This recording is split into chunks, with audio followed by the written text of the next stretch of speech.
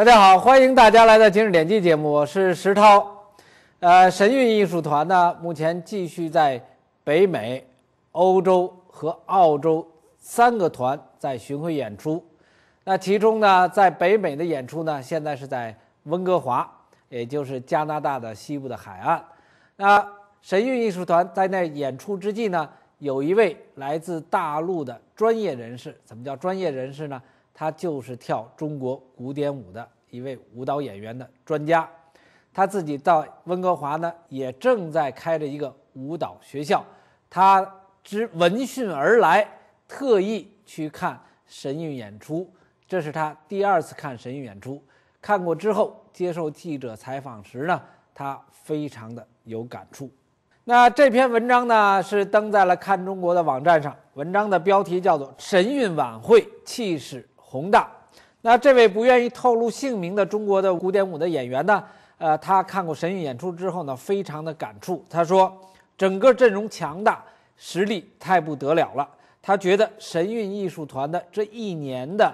呃，一一年的成长吧，因为他去年看过演出，他说简直是飞速扩展壮大，而规模和发展速度呢是非常了不起的，因为他自己既又跳舞，自己又教学生，他非常清楚培养一个中国古典舞的演员有多么的难。文章里呢，他特别提到说，男演员在舞蹈表演当中的毯子功和弹跳都非常棒。真正的展示出中国男子的那种刚阳之气，而且舞蹈本身非常有气势。他特别提到了来表达这个藏族的舞蹈，叫做雪山欢歌，和另外一个就是大唐古丽。他讲说，真正体现出中国男子的风范。而作为专业演员来讲，他说他非常注意到整个舞蹈演出的效果。他说，发现现场的观众反馈是非常好的。而另外一位来自大陆的声乐老师，他自己呢姓刘，他是慕名而来看神韵演出的。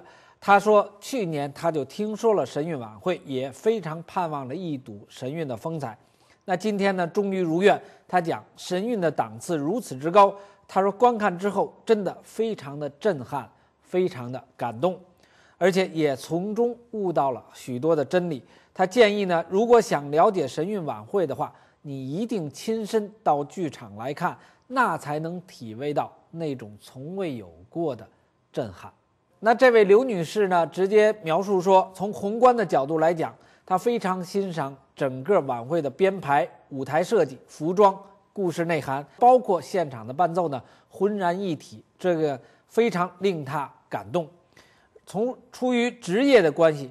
他特别提到说，神韵的演员每一位演员前后左右水平是一致的，而且在那么短时间内可以把演员训练到位，这是非常不容易的。他特别提到，这一定是有神灵引导才能达到如此的阵容，才能达到如此高档次的演出。一句话，非人力而为之。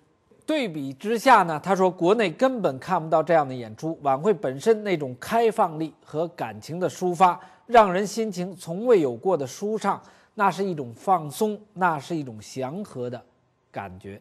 而刘女士呢，最后特别表示说，在整个节目当中有有关法轮功学员被迫害的内容。他说这些人权问题是真实存在的。他自己的单位的同事就被抓进了监狱，被迫害，原因。只是因为他练法轮功，可是这些人平时在单位都兢兢业业，处处事事做好人。他非常感叹，今天中国并没有任何人权可言，也没有机会体会到他现在能正在体会的那种舒畅的心情。